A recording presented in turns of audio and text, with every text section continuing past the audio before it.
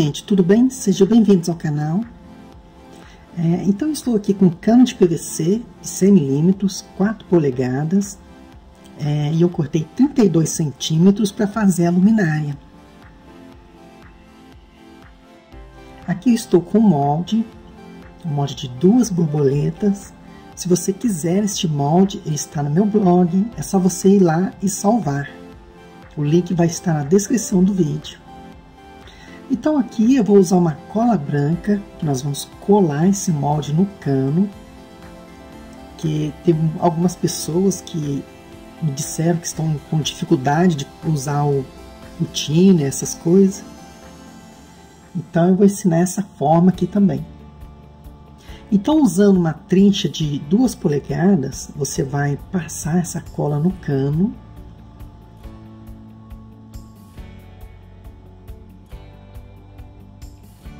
E agora é só colar o molde aqui no cano.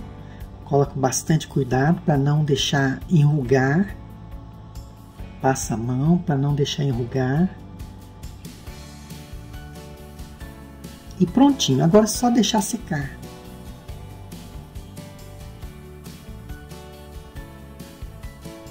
Depois de seca, a folha seca e a cola seca, é, Aqui eu já vou usar uma micro retífica, vou usar na velocidade 5, vou usar uma ponta diamantada fina e nós já, nós já vamos começar os cortes. Então aqui vamos começar os cortes, os furos, é, os cortes aqui na borboleta. Então você já vai cortando e também você já vai retirando a rebarba.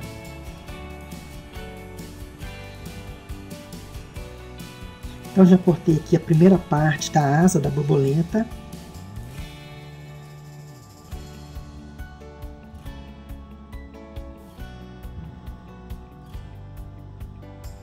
Já cortei aqui a, a segunda asa da borboleta. E prontinho. Agora você vai fazer o mesmo processo na outra borboleta.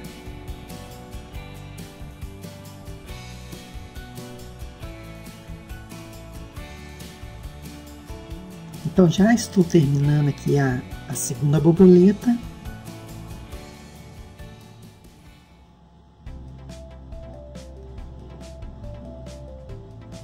Então prontinho. Agora nós vamos fazer o corte da asa. Nós vamos cortar as asas das borboletas.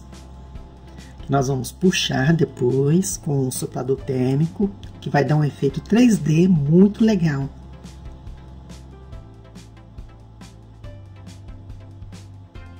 Então você corta com muito cuidado.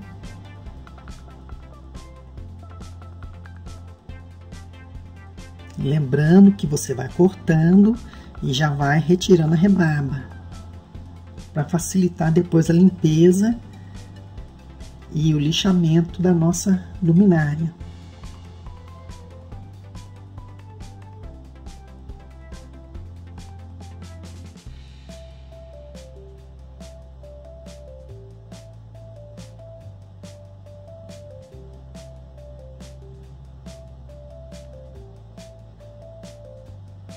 Muita, muitas pessoas me perguntam qual velocidade eu uso na micro retífica. Nessa micro retífica, a Dexter Power, eu uso velocidade 5. Às vezes a velocidade 4. Então aqui já cortei as asas. Observe que ficou perfeito.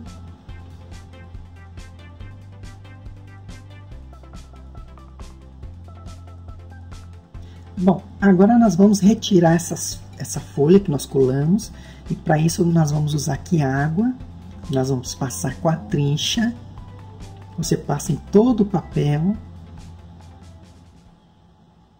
e ele vai soltar perfeitamente. É só passar a água que ele vai soltar.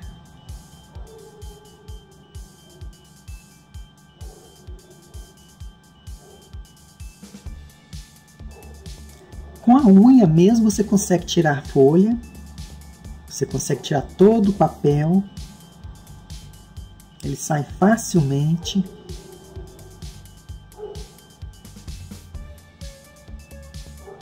Então prontinho, já retirei a folha, ficou limpinha a nossa luminária. Agora nós vamos fazer aqui uma uma coroa bem legal, uma coroa vazada.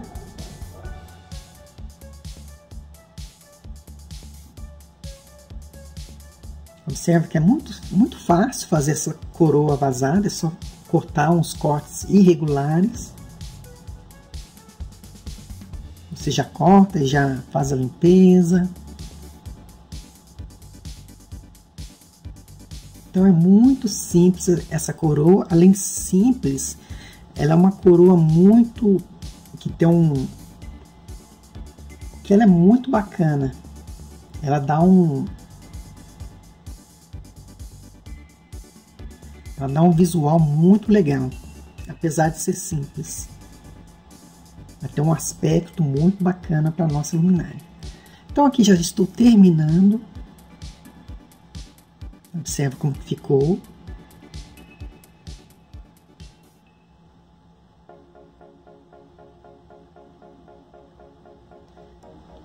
Agora nós vamos fazer os detalhes. Os detalhes vai ser é, alguns pontos pequenos, uns pontos médios e umas bolas, umas bolas que nós vamos fazer uns furos maiores. Então observa como que vai ficar. Você vai alternando entre umas, uns furos grandes e uns furos pequenos.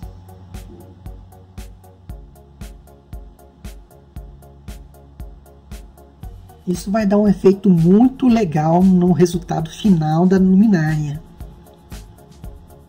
Então, observa como ficou.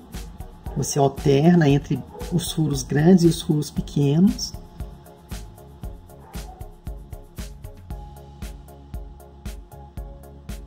Observa que é muito simples, uns detalhes muito simples, mas que dão um efeito muito bacana. Vou mostrar para vocês como que ficou. Olha só o efeito que dá na, na nossa luminária.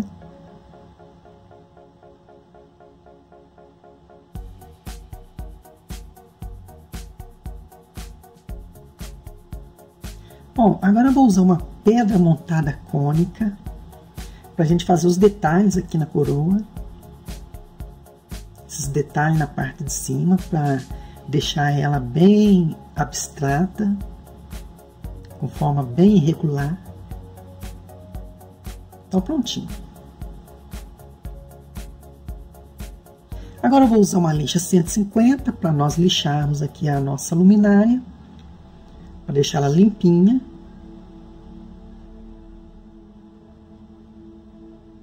Você lixa por dentro, lixa por fora. Depois que você lixou, agora você usa uma escova de roupa e vai retirar toda a rebarba que ficou. Você passa por dentro, passa por fora e vai ficar limpinha a nossa luminária.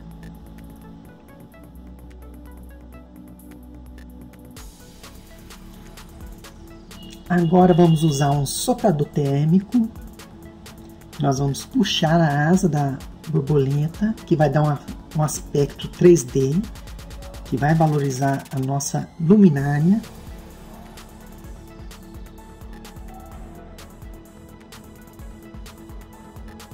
Então você puxa aqui a asa e vai moldando.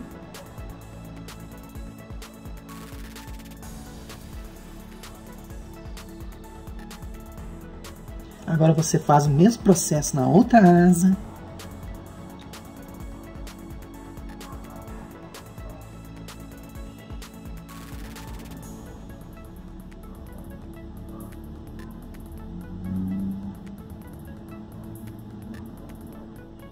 Então você vai moldando.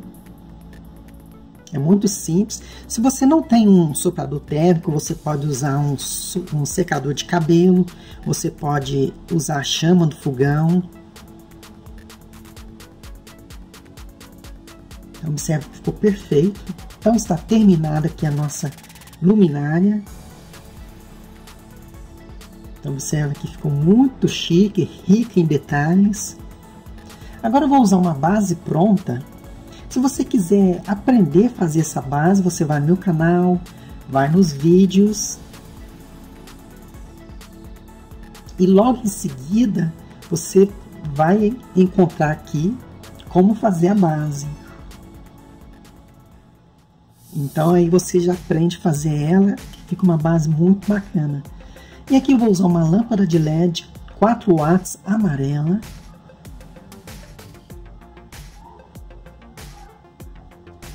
Então está pronta a nossa luminária. Vou usar aqui uma folha de apostila de plástico opaca. Essa folha você encontra em lojas de papelaria. Ela custa em torno de um real. E está pronta a nossa luminária. Então ela não deixa ver a lâmpada, muito bacana. Então esse foi o vídeo de hoje, espero que vocês tenham gostado e agora fiquem com o resultado.